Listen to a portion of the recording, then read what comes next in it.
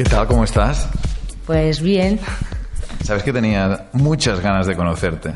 Sí, sí. Lo sabes. Sí, lo sé, lo sé. Pues nada, no sé. mm, Cuéntame quién eres. Pues eh, soy italiana, me llamo Rita. Bueno, y vivo aquí en Barcelona hace cuatro años.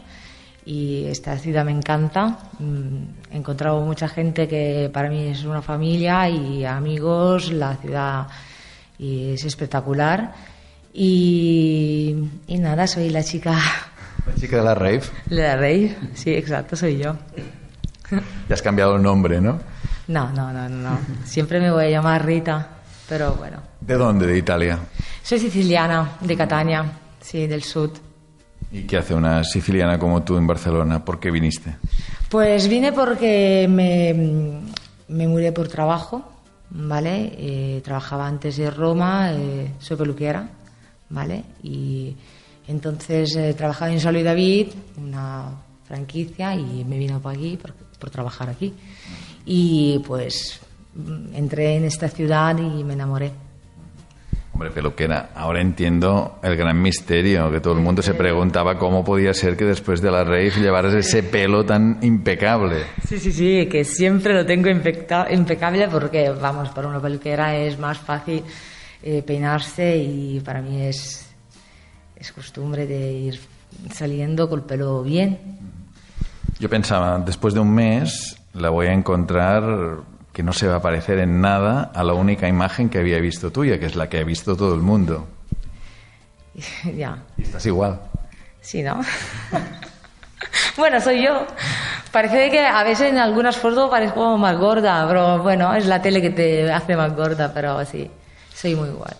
Mira, si te parece, luego vamos a, a qué pasó en la fiesta y qué pasó antes, pero quiero hablar del después, lo que te decía, ¿no? Ha pasado ya más de un mes.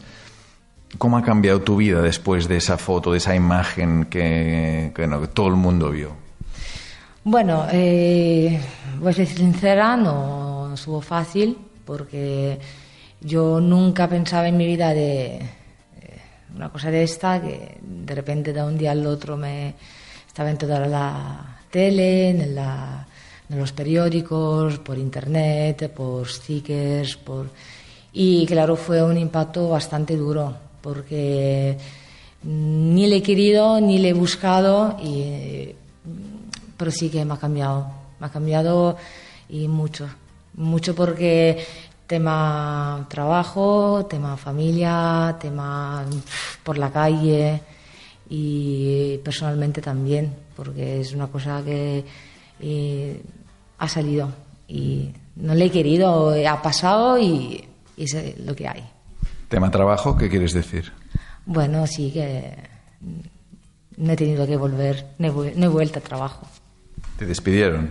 Bueno, pero claramente siendo una peluquera estoy con cara a público y claro, me reconocían las clientas y con toda la razón y normal que pasa esto.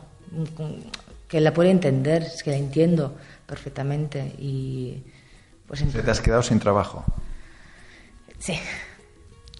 Pero no pasa nada. Sé que puedo encontrar algo y, y lucharé por eso, porque llevo trabajando toda la vida. Pues entonces es- esto no me va a parar. ¿Tú cuándo llegas a esa fiesta? Porque era una fiesta en fin de año en Llinars del Vallès. eh, o sea, tú pasas el fin de año, el 31 de diciembre a las 12 de la noche, estás ya en la fiesta. No, no, no. Yo llegué por la mañana del 1.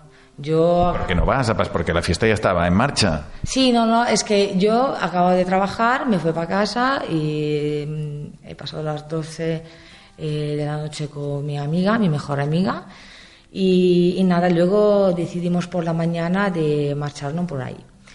Yo, claro, no sabía nada porque, vamos, que llevo aquí cuatro años, vale que sea la movida de la noche, pero así tan interna, no lo sé. Mi amiga de aquí, es catalana, y me dicho, es que hay esto, hay esta rave. Bueno, no es la primera vez que voy a rave, y, y yo dije, bueno, no tenía ni idea de lo que, que me esperaba, ¿sabes?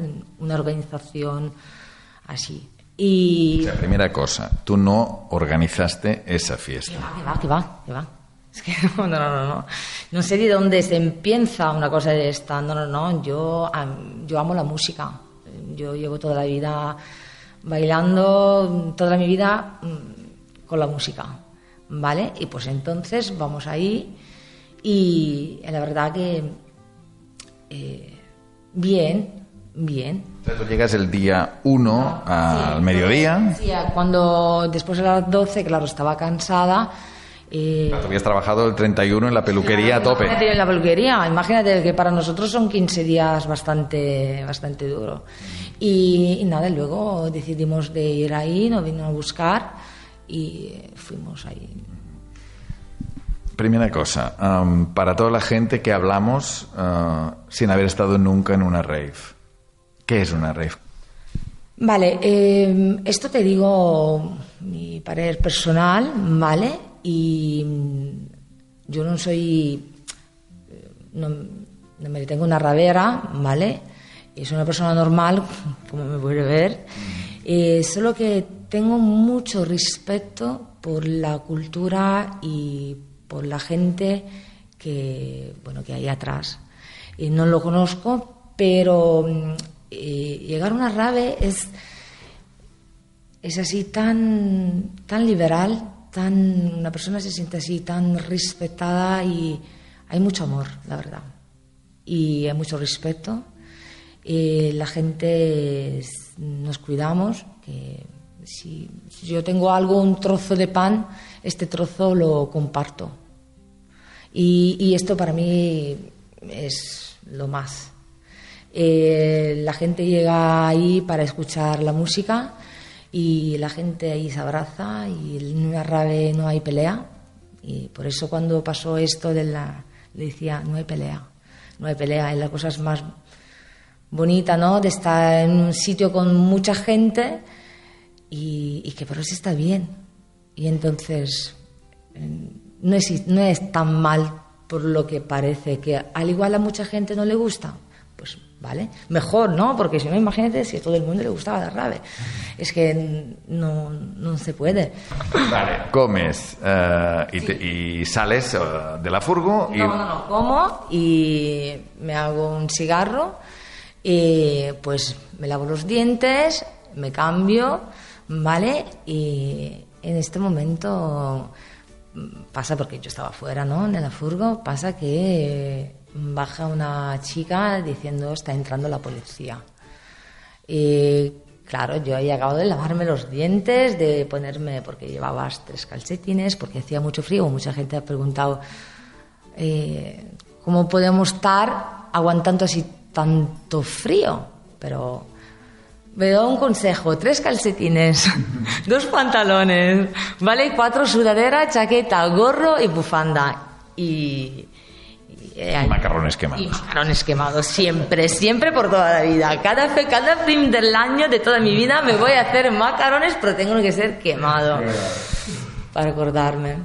Y, y nada, y eso la, bajaba la, la chica avisando que estaban entrando. Y entonces ahí, claro, la furgonera mía, yo en este momento digo, ¿qué hago? Y claro, digo, ¿coge móvil? No, no coge móvil. Y, ¿Sabes? Estaba, cierro la furgo, sí, no. Era 10 segundos. En 10 segundos tenía que pensar todo. Y claro, yo iba con un ojo cerrado aún, ¿sabes? aún estaba medio dormida. Y, y nada, entonces, ¿qué hago? Cierro la furgo y y no me meto ni a buscar la sudadera. ¿Sabes? Y digo, bueno, tenía un body. Digo, entro. Ahí alguien me va a dar una chaqueta. Pero es que en este momento la mi primera he pensado, cierro la furgo y me marcho. Y entro. Y entras vestida, entras con el body. entro vestida, sí. ¿Y qué pasa cuando entras? entro con la poli que estaba, yo estaba al lado de ellos porque entramos juntos. Y nada, pasa que mm, con la porra, ¿vale? Y claro, la gente ya estaba todo al final, pero yo que estaba en la furgo y... La despistada que entra última, ¿no? Sí, exacto, era la última. Y claro, con la porra hacían, ¿sabes? Y yo, claro, por suerte, con un movimiento le dije, uff, no, me- no me ha pillado en este momento, pero digo, eh, ¿qué haces? ¿Sabes? Para, no, no me pegues. Y, pero claro, yo entiendo perfectamente que yo tengo que hacer así, hacer así ¿vale? No, no sé. Y no es mi trabajo, pero puedo entenderlo, ¿vale? Hacemos que puedo entenderlo. Hasta que me empujan con el, el escudo que tienen ellos y después que yo le he dicho, vale, que voy, me están mirando que voy, te voy andando, pero no me pegues, ¿vale? Voy.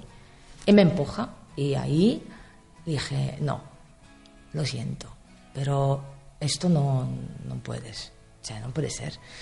Me doy la vuelta y con mi atributo me bajo la- el body y digo, a ver, pégame ahora. Lo miré a los ojos y digo, pégame ahora. ¿No ves que estoy sin armas, soy una persona? ¿Vale? Antes me estaba intentando pegar, pégame ahora. Y claro, la poli se encontró, no se lo esperaba. O sea, vestida te pegaba y desnuda ya no te pegó. Sí, hacía así para que yo me iba para adelante, pero no me pillaron y cuando luego digo que, que sí, que voy, pero que voy, pero no tengo ni... porque tengo que correr, que voy. Y me empuja. Y ahí fue cuando yo me di la vuelta y dije, ¿me has empujado? Pues hágalo ahora otra vez. Pues, y esto fue el momento que... Y en este momento, que es el momento que hemos visto todos, ¿no? ¿Tú, eras ¿Tú veías que habían cámaras ahí dentro, que habían periodistas grabando? Absolutamente no. No. Te lo juro. Yo la única cosa que me acuerdo, me lo voy a acordar por toda la vida, fueron, fue las, camiones, las, las camionetas entrar así tan ordenada, me acuerdo como si fuera ayer, ¿vale? Así tan ordenada, una tras la otra, mismo paso, ¿sabes? La policía todo ordenada, ¿sabes? Y yo ahí dije, ¡buah! Es que esto lo, lo tengo en la mente y, salió una foto eh, justo en este momento, y, pero a vivirlo no es lo mismo. Te, te aseguro que fue ahí fue muy, muy fuerte, ¿sabes? Y ver todo esto y decir, guay, ¿y ahora qué? Tú te convertiste en ese momento un poco como en, la líder, al menos a ojos de los que no estábamos en la rave. Am, tú te dirigiste en la líder, en la portavoz de, de tus compañeros, de la otra gente que, que estabais de fiesta allí. ¿Fue una decisión improvisada? Fue, sí, mm, fue improvisada, ¿vale? Eh, en un momento he entendido la que se va a liar. Y yo que soy contra la violencia, pero odio la violencia del, de género, de, de- de animales, de personas mayores, la odio, ¿vale? No, no puedo, no puedo. Cuando veo violencia, no puedo, no lo acepto. Es una cosa que no, no voy a aceptar nunca en mi vida. Y ahí lo, lo he visto clarísimo. Dije, aquí alguien se va a hacer daño. Como nosotros, cuidado, ¿eh? Como también las poli, ¿eh? Y no quería esto, no quería. Y al final no pasó.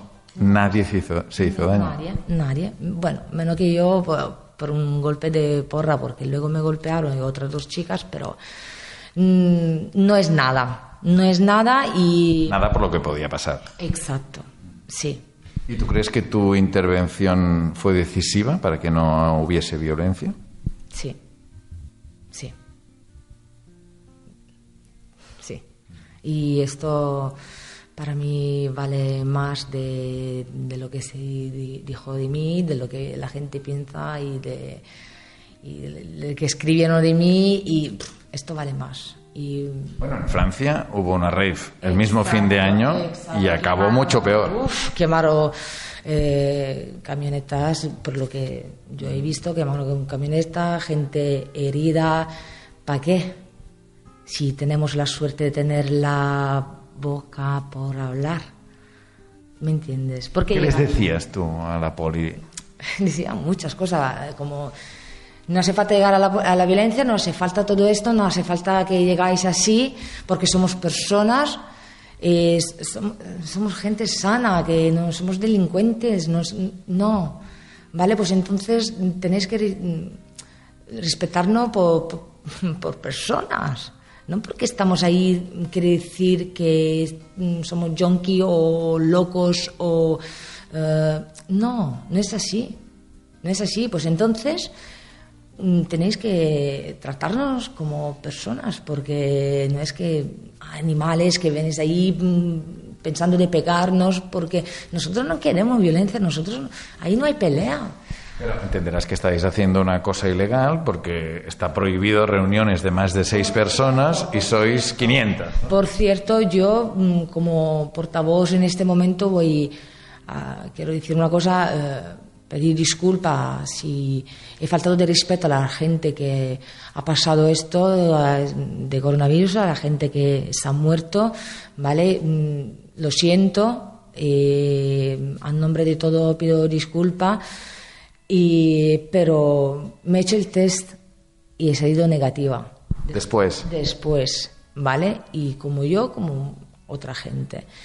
¿Qué quiero decir con esto? No me quiero meter en la defensiva, pero que mm, al igual es más peligroso poder coger el coronavirus en el metro. Es que hay más gente pegada en el metro que ahí, porque ahí es un espacio libre, abierto, grande, ¿vale? Y la gente estaba también porque yo cuando quiero hablar, bailar no quiero que la gente me se pegue al lado, ¿me entiendes? Yo quiero tener mis dos metros de, de, de distancia. ¿Te planteaste antes de ir a la fiesta si, si estabas haciendo bien en este momento ir a, a una rave? Eh, sé perfectamente que no, no estaba haciendo la cosa correcta. Yo lo sé, yo soy consciente de, de lo que hago y me asumo mi responsabilidad. Pero se, te quiero decir, es que después de un año encerrada me apetecía, la verdad. Y no lo veo, no veo nada de malo ni ir a un sitio, escuchar una música y ver la gente que después de un año no, no la veía y, eh, y esto, me apetecía, sí. Rita, ¿en qué momento, no sé si es en la fiesta o es luego en tu casa, o en qué momento alguien te viene con un móvil y te dice, está tu foto en todas partes? Sí, no, no, fue que después que yo media, después de media hora que he hablado con, con la poli para calmar la situación, para que íbamos a gestionarla bien, que no íbamos a hacer lo que ellos no decían y mm, claro, ellos no podían hablar con cada persona, pues entonces uno hablaba con el otro y yo luego he dicho, chicos, tenemos que salir de aquí, ficharnos, ¿vale? Y tenemos que irnos, ¿vale? Y ellos, los, los chicos, me escucharon, nadie ha dicho, nada, yo me quiero quedar. No, no, no, hemos hecho lo que ellos han querido, ¿vale? Cuando yo salí y viene una colega corriendo y me dice, Rita, estás por la tele. Y yo, claro, me quedo como, ¿cómo? Digo, ¿qué dices? busco el móvil que no, no tenía y digo, déjame ver. Eh, cojo un móvil de, de, un amigo y digo, déjame ver. Y veo la directa. Y yo digo, ¿en serio? Y claro, me quedo congelada, congelada, te lo juro. Y, y empecé a pensar. ¿Qué es lo primero que pensaste? Lo primero, el trabajo he dicho, voilà. Me he quedado sin trabajo, lo primero. Y lloro, ¿eh? Ahí he llorado. Empecé a llorar porque me he enterado de que esto no era una cosa que se estaba quedando ahí, pero que había salido mm, del lugar y, y abierto. Y me he enterado. Y mm, ahí empezó todo. Ahí empezó todo. ¿eh? Empezó todo, sí. Una, no sé, ¿te gusta la foto? ¿Las fotos que me hicieron? Bueno, es que yo me gusto, la verdad. Pues yo me encanto, yo me gusto, yo, yo me quiero mucho. Y en alguno parezco más gorda de lo que soy, pero no pasa nada. Yo me- Bueno, habías comido macarrones. Había comido macarrones, es verdad, es verdad. Quemados. Culpa de mi compañero que me comió macarrones y tenía la barriga ancha, ¿sabes? Sí, sí, sí, sí, sí, sí, tal cual. Pero, a ver, o sea, a ver si lo entiendo. ¿Tú has perdido el trabajo o qué te dijeron? ¿Has perdido el trabajo porque vas a una rave? ¿Has perdido el trabajo porque salió una imagen tuya desnuda? ¿Por qué has perdido el trabajo? No, no, no. A ver, que mm, es normal que en mi trabajo es cara al público, ¿sabes? Y entonces es normal que en una empresa tienes que cuidar su clienta. Pues entonces yo he entendido perfectamente su reacción. Y, y a ver, que mm, la entiendo. Lo que Porque yo quiero decir es que tu imagen puede ser divertida, puede, puede que todo el mundo pues en Twitter ponga comentarios y haga memes con tu imagen, o sea, Vale. pero no hay violencia. O sea, mm, Vale, pero- ¿qué has hecho mal? yo, ¿qué he hecho mal? Nada. Ir a una fiesta que está Ah, prohibida, vale, que no puedes ir, una fiesta ilegal como todos los otros. Sí, sí, sí, pero que... Vamos a ver, nosotros estamos ahí, pero ¿cuánta gente ha salido por la calle después del toque de queda? ¿Cuánta gente no ha respetado la regla? Y ahora porque nosotros estamos en la RAVE somos lo más malo. Eh, porque la gente que está afuera que no, no se sabe nada, pues entonces... ¿Sabes qué te quiero decir? Pero entiendo mi, eh, mi jefa que, claro, que dice, prefiero que... Luego sería un tema que si se me hablaba en el, ahí dentro, pues eh, para evitar esto. Es de normal, yo lo entiendo, ¿eh? Yo lo entiendo. Mm, eh, digo, tiene razón, no te puedo decir nada. Pero a nivel personal, eh, cuando yo le he explicado la situación, mm, ¿sabe? No, no ha visto nada de malo porque no hay nada de malo. Al revés, al revés. Y mm, la gente que me conoces me ha apoyado mucho, sabe quién soy, me conoce y me dice, Rita, ¿Y ahora qué buscas? ¿Trabajo? ¿Trabajo de peluquera? ¿Qué- Bueno, ahora, ahora me estoy tomando un momento de tranquilidad porque estoy haciendo un trabajo conmigo misma para que pueda pensar otra vez a salir por la calle y estar mm, tranquila porque No sales. eh, cuando salgo me tapo porque la gente me reconoce, sí. Sí. Y pues entonces evito de... Me fui al centro, eh, me mudé y me, me fui a vivir fuera de Barcelona. Bueno, es que no puedo evitar, estoy viéndote tu Apple Watch, que esto también dio para muchos comentarios, ¿no? Sí, sí, sí, sí. Bueno, un Apple Watch, sí, un comentario por el Apple Watch, al igual no sabía de qué hablar. Y me salió el Apple Watch, que... ¿Qué quiere decir? Que una persona que va de rave no puede tener un Apple Watch. Y puedo sacar muchas cosas más si quieres, pero ¿para qué esto? Eh, uno decía para que para ver la cuánta calorías quema con bailando o algo así, he leído algún comentario así. Y sí tengo un Apple Watch. ¿Y cambia algo? Viendo todo lo que te ha comportado, ¿volverías a hacer lo mismo? Absolutamente sí. Todo. A ver, mm, de una parte, claro, eh, que ha afectado así tanto mi vida privada y te diría no, ¿vale? Por el tema que ha afectado mi vida privada. Pero por lo que pasó ahí, volvería a hacer lo mismo, claro que sí.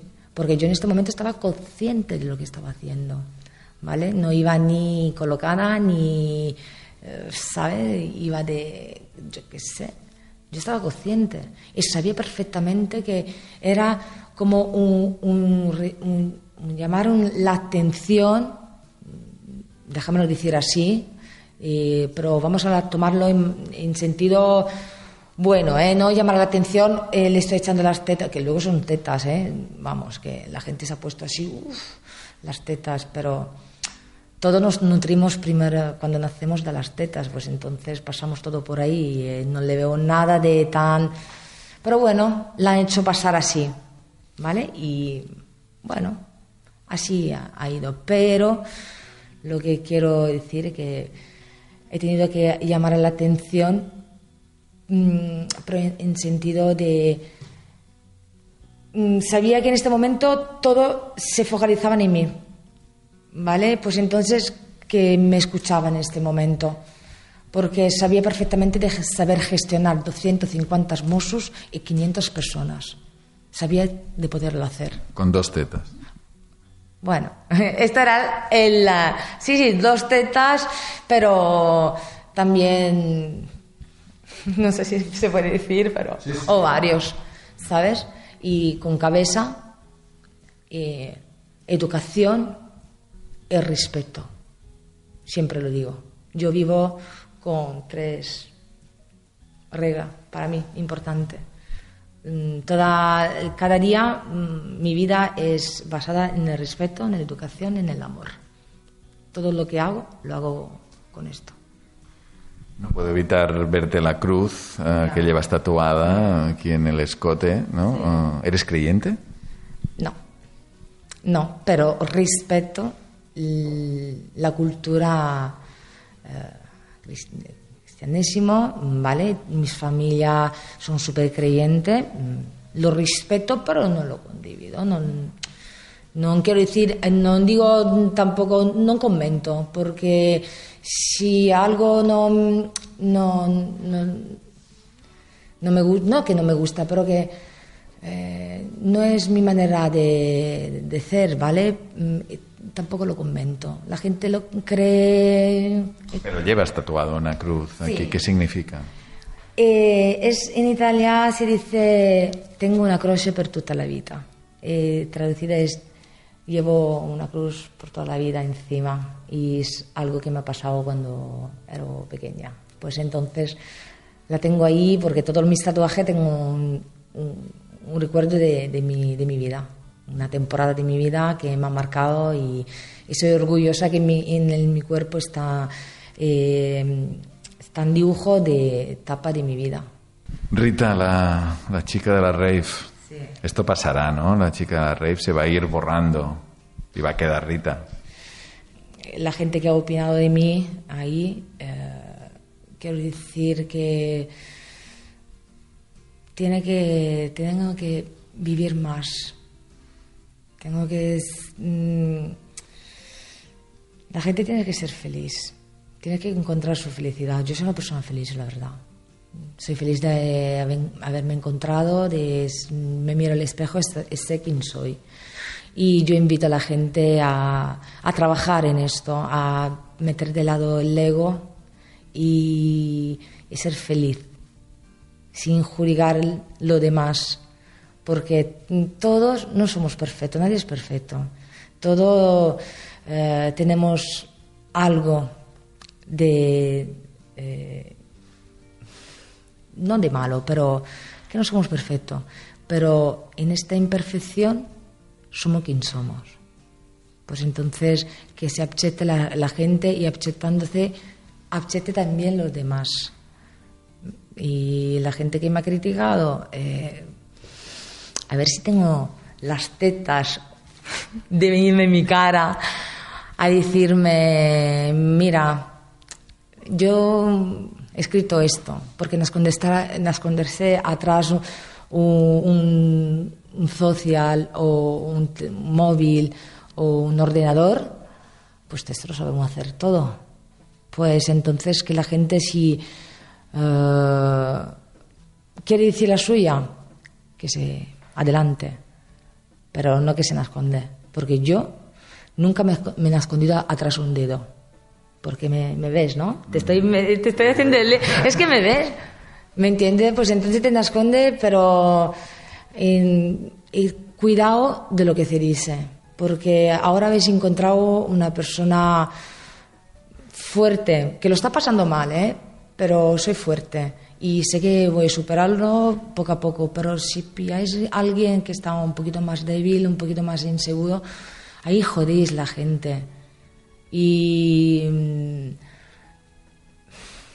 jodida gente y, y vosotros sois lo bueno y yo soy la mala que me voy a dar rabia pero vosotros que jodéis la gente sí, ¿no?